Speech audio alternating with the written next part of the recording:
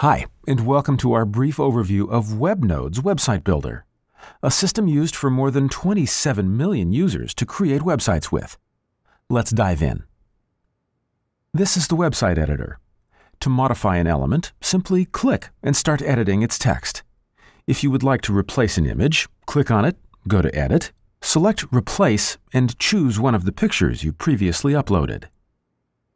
Moving content is really easy hover over the element, click and drag it to the desired position.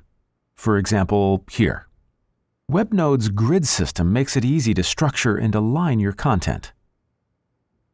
Webnode comes with some pre-built sections in their system. This makes adding popular layouts, such as contact forms, price lists, or testimonials, a walk in the park. As you can see, you only need to replace the dummy content for your real texts and images. But chances are that these predefined layouts aren't good for you. Then look for the gray plus bubble button to add a specific piece of content. Adding elements such as a basic text, a map, a button, or even embedded videos is easy as pie. However, we'd like to see a wider range of basic content elements like social media integration, slideshows, and so on. To see the changes online, you only need to click Publish.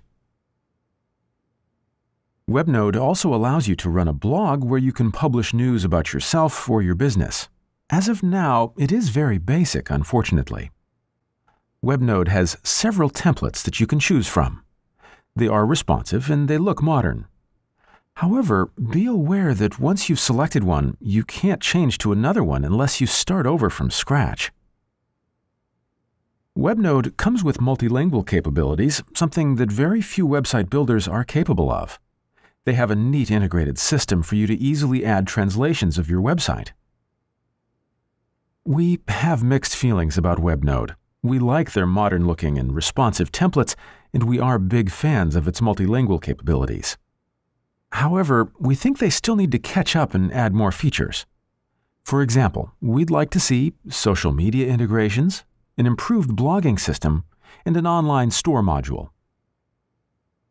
That's it for this overview. If you want to learn more about Webnode, please check out our full review at websitetooltester.com.